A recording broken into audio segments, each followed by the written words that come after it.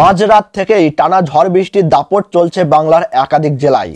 এখনও বজ্রবিদ্যুৎ সহ তুমুল বৃষ্টি চলছে রাজ্যের বেশ কিছু জেলাতে। আজ এবং আগামীকাল রাজ্যে প্রবল নিম্নচাপ বজায় থাকবে বলেই জানিয়েছে আবহাওয়া দপ্তর।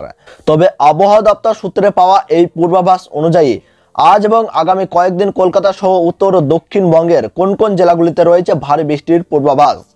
কোথায় কোথায় চলবে হালকা বৃষ্টি, রাজ্যে কতদিন নিম্নচাপের দাপট থাকবে বলে জানিয়েছে আবহাওয়া দপ্তর? জানতে হলে অবশ্যই ভিডিওটি মনোযোগ সহকারে শেষ পর্যন্ত দেখবেন।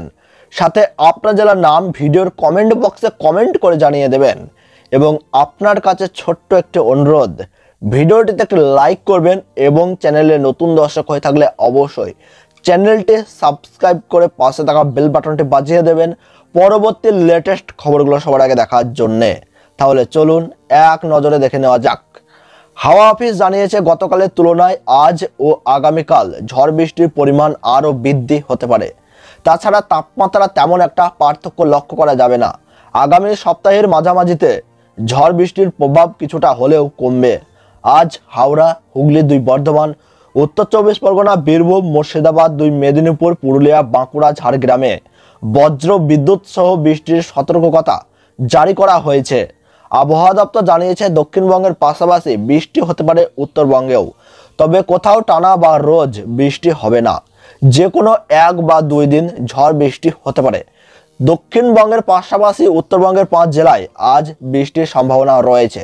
বিশেষ করে দার্জিলিং, জলপাইগুড়ি, কালিম্পং, কোচবিহার এবং আলিপুরদুয়ার। সমস্ত জেলার অবস্থা একই রকম থাকবে। আগামী চব্বিশ ঘণ্টার মধ্যেই এই সমস্ত জেলাগুলিতে হালকা মাঝারি বৃষ্টি হওয়ার সম্ভাবনা রয়েছে।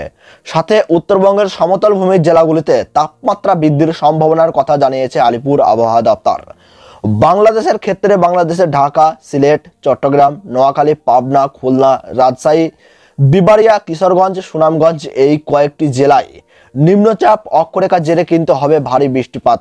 আগামী চব্বিশ থেকে আটচল্লিশ ঘণ্টার মধ্যেই বাংলাদেশের এই জেলাগুলিতে বজ্র বিদ্যুৎ সহ শিলাবৃষ্টিপাত লক্ষ্য করা যাবে।